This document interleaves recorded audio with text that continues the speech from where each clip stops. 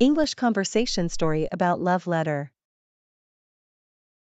What are you doing, Anna?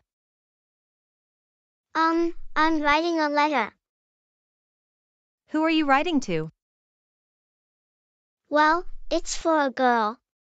I like her a lot. Who? Is it a love letter? Is it for a girl in your class?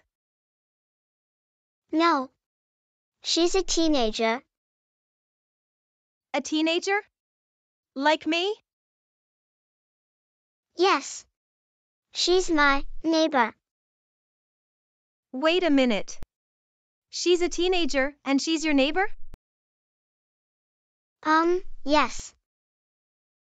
Hmm. And is she very smart?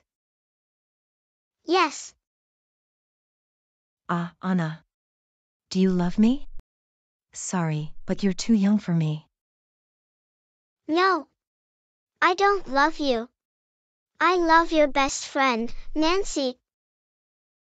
Can you give her my letter?